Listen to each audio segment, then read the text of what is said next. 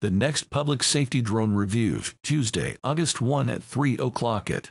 Don't miss the August 1 episode of the Public Safety Drone Review, presented by Drone Responders and Drone Life, with guests Lukáš Brchl of DroneTag and Hannu Lesonen of Anarky Labs. The Public Safety Drone Review is a new monthly resource for the public safety community. This free event will be held live on August 1, 2023 at 3 p.m. Est, and on the first Tuesday afternoon of each month going forward. Register here for the live webcast or watch later on the Drone Life TV YouTube channel. Public Safety Drone Review, August 1. This month, hosts Timothy Martin and Miriam McNabb review the latest news stories about drones and public safety, first response, fire, and police with our guests Lukáš Brchl and Hannu Lesonen. Our guests will then speak and answer questions about their ecosystem tools.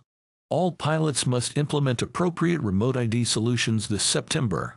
If you have questions about how to meet those requirements, now is the time to ask.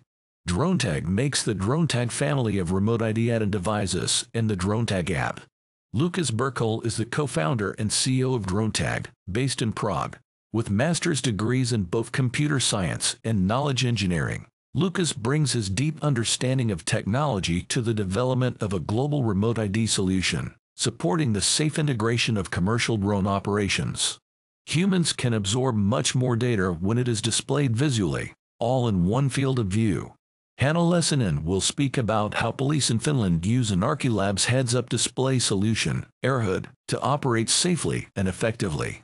Bringing augmented reality into the realm of public safety can give officers the information they need, readily accessible, to de-escalate emergency situations and keep everyone safer. Hannu Lesonen is the founder and CEO of Anarky Labs, based in Helsinki. Lesonen has a Master's of Arts in Industrial Design, Media and Interface Design.